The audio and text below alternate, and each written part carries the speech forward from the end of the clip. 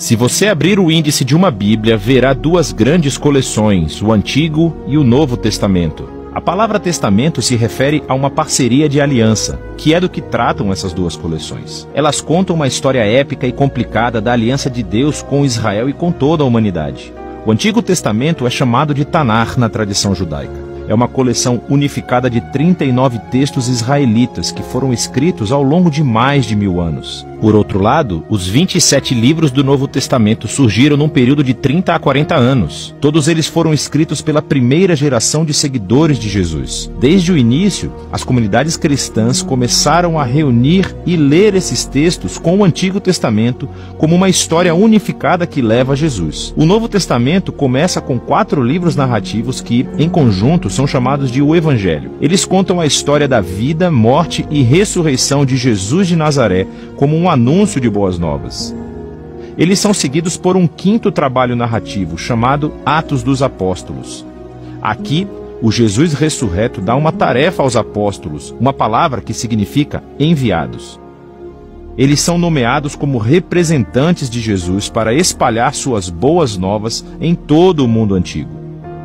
Depois de Atos, vem uma coleção de cartas dos apóstolos. Foram escritas para oferecer ensino e orientação para as comunidades de seguidores de Jesus, as igrejas. Existem 13 cartas conectadas ao apóstolo Paulo e não estão organizadas na ordem que foram escritas, mas da mais longa à mais curta. Depois tem a carta aos Hebreus, escrita por um colaborador próximo aos apóstolos, mais anônimo. Depois temos as cartas de Tiago, Judas, Pedro e João. Dois eram irmãos de Jesus e dois estavam entre os seus primeiros seguidores. O último livro do Novo Testamento é o Apocalipse, uma carta a sete igrejas que revela uma palavra profética de desafio e conforto a todos os seguidores de Jesus. Então, esses são os livros do Novo Testamento. Mas do que falam? E como eles se conectam ao Antigo Testamento para formar uma história unificada? Pense assim. A Bíblia é uma longa narrativa épica com vários movimentos ou atos. O Antigo Testamento relata a primeira série de atos que te dão tudo o que você precisa para entender a história que se segue. Os temas centrais e o conflito do enredo são organizados em padrões de enredo. E no Novo Testamento, eles são retomados e nos levam ao clímax da história em Jesus. Deixa eu te mostrar o que eu quero dizer. O primeiro ato é sobre Deus e toda a humanidade. Deus fornece um lindo templo em forma de jardim para os humanos, criados para governarem o mundo com ele. Mas os seres humanos são tolos. Caem em uma tentação obscura e se rebelam contra a sabedoria de Deus. Então acabam exilados no deserto, onde começam a matar uns aos outros. Eles constroem cidades que espalham seu egoísmo e opressão, levando à grande cidade perversa da Babilônia. Mas Deus ama o mundo e os seus habitantes tolos, então promete um resgate com a chegada de um novo ser humano que destruirá o mal que nos levou à autodestruição. O próximo ato da história bíblica é sobre Deus e Israel e desenvolve os temas e padrões do primeiro ato. Deus chama uma nova humanidade para deixar a Babilônia rumo a uma terra que é como um incrível jardim. Abraão, Sara e seus descendentes, os israelitas. Deus promete que, por meio dele, sua bênção será restaurada a todas as nações. Com certeza, estes são os novos seres humanos que estamos esperando. Mas os israelitas repetem a rebelião da humanidade contra Deus, construindo as suas próprias cidades violentas que levam à autodestruição e a outro exílio na Babilônia. Mas Deus sustenta a sua promessa de que o novo ser humano virá da linhagem de Abraão. Será um sacerdote rei que agora terá que resgatar Israel e a humanidade da Babilônia para restaurar a bênção de Deus para o mundo. Veja como esses dois atos seguem o mesmo padrão. O segundo ato é uma versão mais longa e violenta do primeiro, explorando a trágica condição humana. Mas também destacam a promessa de Deus, que é desenvolvida no próximo ato, os profetas e os poetas do Antigo Testamento. Os profetas acusaram Israel e todas as nações de sua maldade e anunciaram que o próprio Deus viria trazer o dia do Senhor e libertar o seu mundo da Babilônia.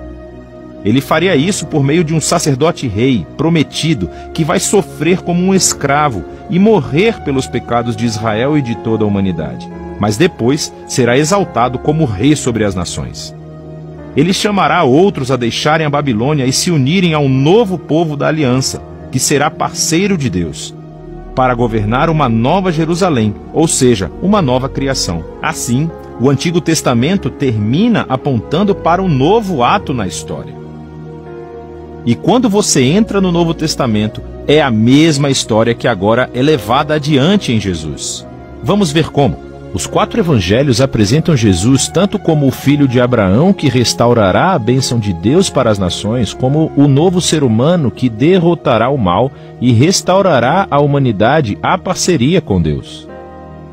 Então Jesus é retratado como um ser humano e muito mais. Ele saiu anunciando a chegada do prometido reino de Deus, falando e agindo como se fosse o rei divino de Israel.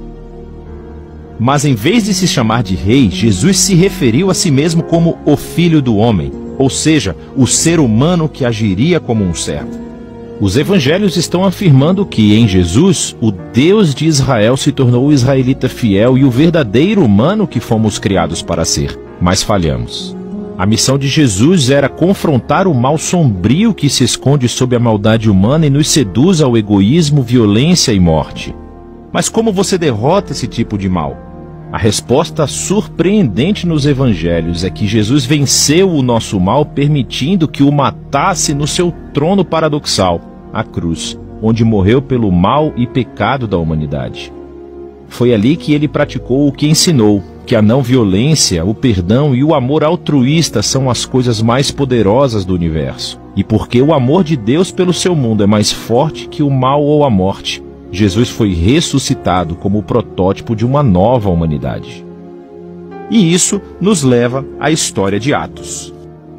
Pelo Espírito, Deus capacita os seguidores de Jesus a espalharem sua vida e seu amor, convidando pessoas a se unirem à família multiétnica de Jesus, a nova humanidade. É aqui que as cartas dos apóstolos se encaixam na história. Eles se comunicam com as primeiras comunidades cristãs e mostram como as boas novas sobre o Rei Jesus mudaram a história e devem mudar tudo em nossas vidas. Também explicaram as boas novas se referindo às histórias do Antigo Testamento e às de Jesus, mostrando como ver nossas próprias vidas como parte da história bíblica. Toda a humanidade está em um exílio babilônico, mas Jesus veio criar um novo lar. Todos vivemos em diferentes tipos de escravidão egípcia, no egoísmo e pecado, mas Jesus morreu como o cordeiro da Páscoa para nos levar à terra prometida. Nossa velha humanidade está destinada ao pó da morte, mas a ressurreição de Jesus abriu um novo futuro para uma nova humanidade. Vivemos na era maligna atual, mas com Jesus e o Espírito uma nova criação está surgindo. Isso nos leva ao livro do Apocalipse, no qual toda a história bíblica se reúne com simbolismo e imagens fortes. Jesus é retratado como um cordeiro ensanguentado que é exaltado como o rei divino do mundo. Ele está tirando seu povo da escravidão e exílio na Babilônia. Ao resistirem à influência da Babilônia, pode ser que eles tenham que sofrer ao lado do seu líder que foi morto.